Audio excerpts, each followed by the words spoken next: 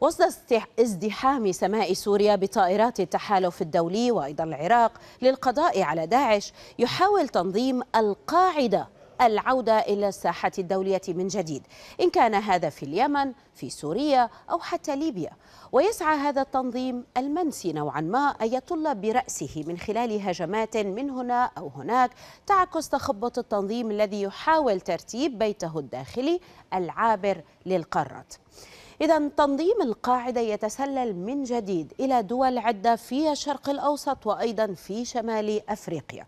وهذا عبر جماعات مسلحة محلية وأخرى عابرة للحدود.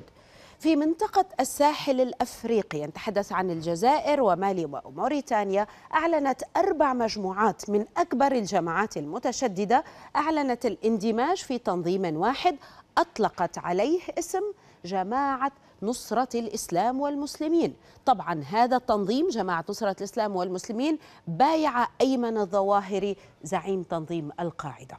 أيضا في ليبيا بدأت جماعات متطرفة مرتبطة بالقاعدة تقديم الدعم لميليشيا سرايا الدفاع عن بنغازي وإذا تذكرون هجومها على منطقة الهلال النفطي. ومن بين هذه الجماعات القيادي الأبرز في تنظيم القاعدة جنوب ليبيا هو أحمد الحسناوي. وأيضا القيادي البارز في تنظيم القاعدة في شمال إفريقيا والمغرب مختار بالمختار. ننتقل قليلا إلى الشرق تحديدا إلى سوريا الذي شكل الإعلان عن مقتل الرجل الثاني في تنظيم القاعدة الملقب بأبو الخير المصري في غارة للتحالف الدولي في محافظة إدلب. شكل هذا ضربة قاسية للتنظيم المتطرف. المصري هو صهر الزعيم السابق للقاعدة أسامة بن لادن ويعتقد أنه بالفعل الآن هو نائب الزعيم الحالي أيمن الظواهري.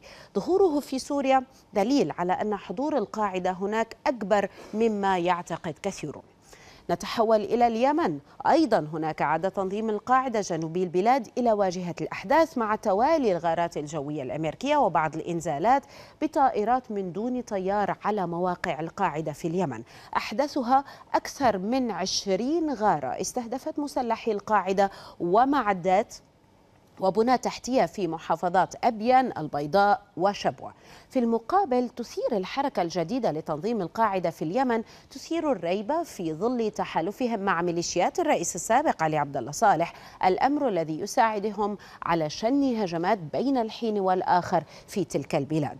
الحرب على الإرهاب تركز منذ عامين ونيف على تنظيم داعش ولكن دلائل كثيرة بدأت تظهر تفيد بأن لابد من الحذر من عودة تنظيم الأم تنظيم القاعدة.